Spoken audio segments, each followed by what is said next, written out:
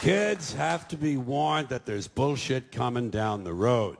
That's the biggest thing you can do for a kid. Tell them what life in this country is about. It's about a whole lot of bullshit that needs to be detected and avoided.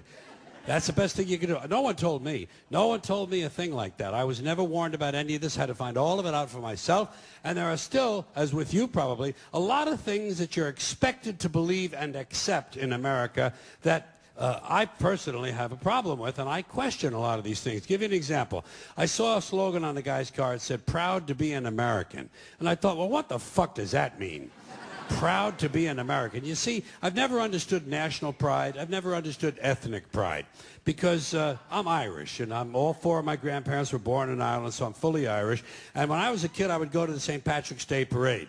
And I noticed that they sold a button that said, proud to be Irish. And I could never understand that because I knew that on Columbus Day, they sold a different button that said, proud to be Italian. Then came Black Pride and Puerto Rican Pride. And I could never understand ethnic or national pride because to me, pride should be reserved for something you achieve or attain on your own, not something that happens by accident of birth. Being Irish...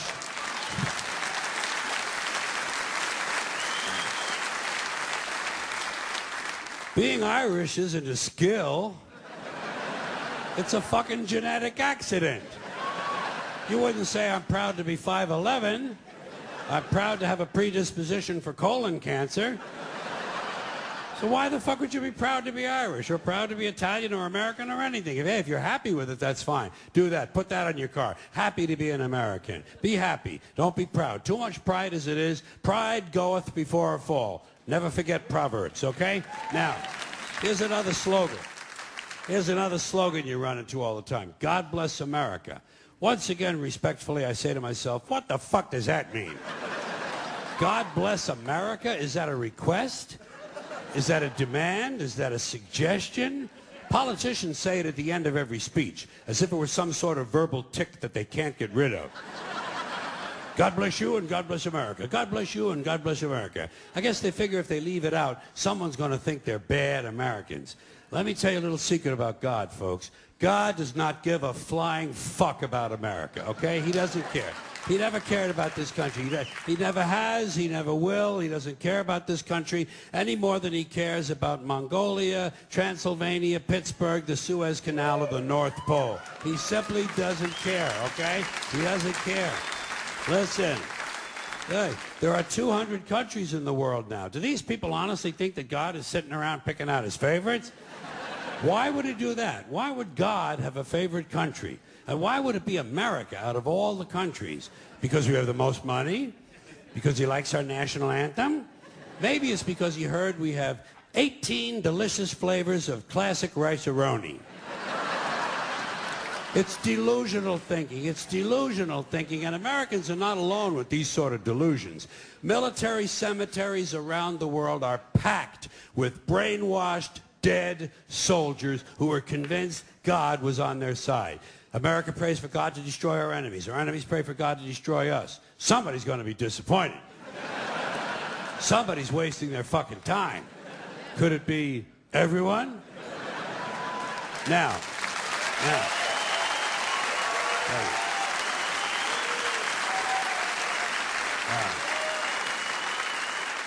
If people want to say God bless America, that's their business. I don't care. But here's what I don't understand. If they say God bless America, presumably they believe in God. And if they do, they must have heard God loved everyone. That's what he said. He loved everyone and loved them equally. So why would these people ask God to do something that went against his own teachings?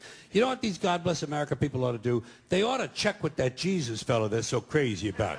They're always talking about what would Jesus do? What would Jesus do? They don't want to know so they can do it. They just want to know so they can tell other people to do it. Well, I'll tell you what Jesus would have done. I'll tell you what Jesus would have done. He would have got up on the top of the Empire State Building and said, God bless everyone around the world forever and ever till the end of time. That's what Jesus would have done, and that's what these people should do, or else they should admit that God bless America is really just some sort of an empty slogan with no real meaning except for something vague like good luck. good luck, America. You're on your own which is a little bit closer to the truth. Here's a, here's a civic custom that I don't understand. Maybe you can help me. Taking off your hat when a flag passes by. or when some jackoff at the ballpark starts singing the national anthem, they tell you to take off your hat. What the fuck does a hat have to do with being patriotic? What possible relationship exists between the uncovered head and a feeling that ought to live in your heart? Suppose you have a red, white, and blue hat. Suppose you have a hat made out of a flag. Why would you take it off to honor the flag? Wouldn't you leave it on and point it toward the flag?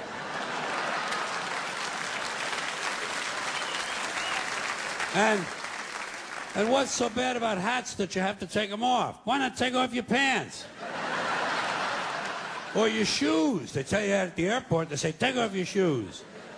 They tell you it's a national security, so taking off your shoes could be patriotic too. I started to question all this stupid hat shit when I was a kid. When I was a kid, I was a Catholic, uh, at least until I reached the age of reason, okay? So, I was a Catholic. I was a Catholic for about two, two and a half years, something like that.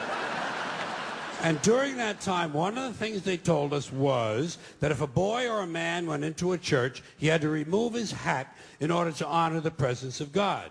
But they had already told me that God was everywhere. So I used to wonder, well, if God is everywhere, why would you even own a hat? Why not show your respect? Don't even buy a fucking hat. And just to confuse things further, they told the women exactly the opposite. Catholic women and girls had to cover their heads when they went into church. Uh, same as in certain temples, Jewish men have to cover their, their heads in those temples. In those same temples, Jewish women not allowed to cover their heads. So try to figure this shit out. Catholic men and Jewish women, no hats. Catholic, Catholic women and Jewish men, hats. Somebody's got the whole thing totally fucking backwards, don't you think? And what is this religious fascination with headgear? Every religion's got a different fucking hat. Did you ever notice that? The Hindus have a turban, the Sikhs have a tall white turban, Jews have a yarmulke, the Muslims have the keffiyeh, the bishop has a pointy hat on one day and a round hat on another day, cardinal has a red hat, pope has a... Why everybody's got a fucking hat. One group takes them off, the other group puts them on. Personally, I would never want to be a member of any group where you either have to wear a hat or you can't wear a hat. I think. Uh,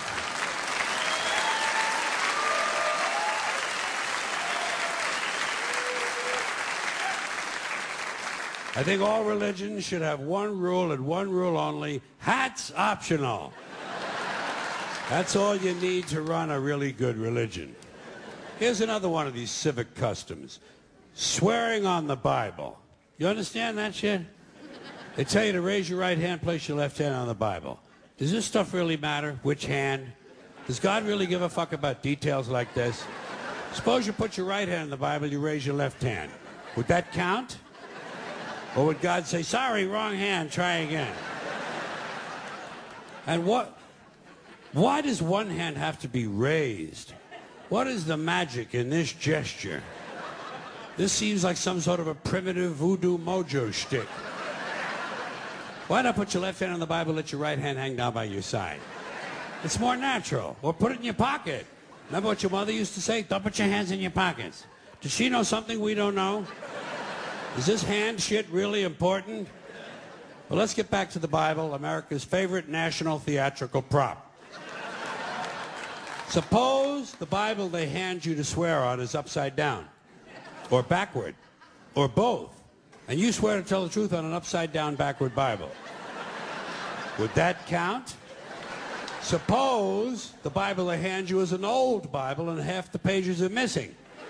Suppose all they have is a Chinese Bible in an American court or a Braille Bible and you're not blind. Suppose they hand you an upside down backward Chinese Braille Bible with half the pages missing.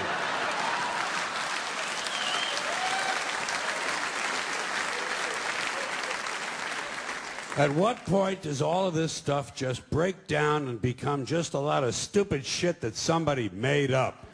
They fucking made it up, folks. It's make-believe. It's make-believe. Now, all right. Okay.